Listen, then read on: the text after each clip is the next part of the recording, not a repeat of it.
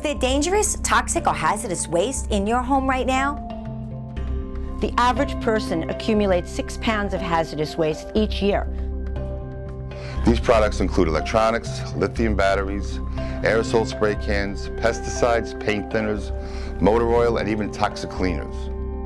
All of these products contain volatile organic chemicals, heavy metals, pesticides, and other toxins.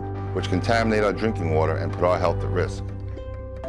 These contaminants have already been found in Long Island's drinking water, and the problem will get worse unless we all do something about it. What can we do? Stop using harmful products, switch to green cleaners, and make sure you properly dispose of any leftover products you have at home. Every town has a Stop Throwing Out Pollutants program that allows us to safely dispose of household hazardous waste. Or visit to find a location near you and stop throwing out pollutants today.